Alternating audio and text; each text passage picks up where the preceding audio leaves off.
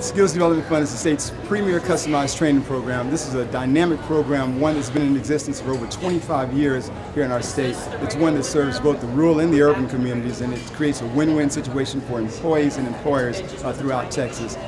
Take advantage of the Skills Development Fund program.